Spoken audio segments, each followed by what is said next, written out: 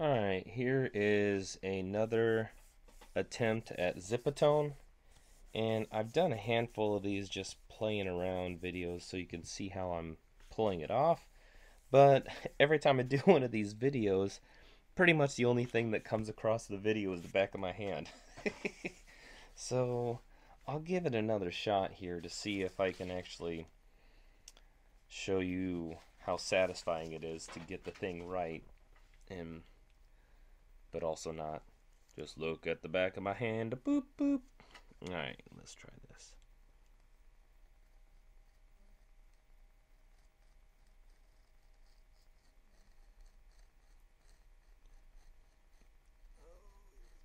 We go. Uh, hopefully I don't screw this up. I'm not used to... Generally, I like pulling towards myself. Because you can get a little bit better line doing that. But then sometimes the zip's got a mind of their own, the boop boop.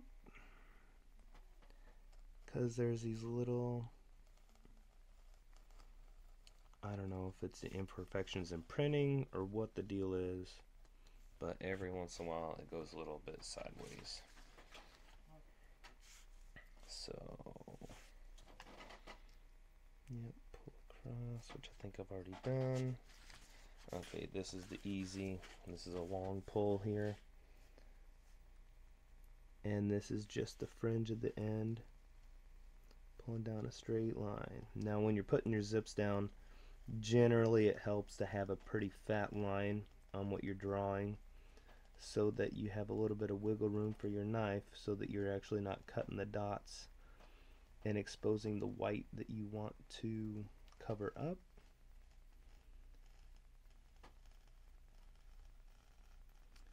And that's part of the deal. So I'll pull this all the way down across the shadow. Did I do the top here? I believe I did. Yep. Everybody likes to see the back of my hand. Boop, boop, boop, boop. Okay, and then just real, real easy pull across. Here, here, how do I For the viewing audience. Okay. And this should just glide out. The nice. Now there's a little bit more wiggle room on the top here because you might get a little bit of the bleed bleed when you send this off to the printer or whoever's gonna mess with it. All right here we go. All right so I'll try to. And oh here's something I figured out.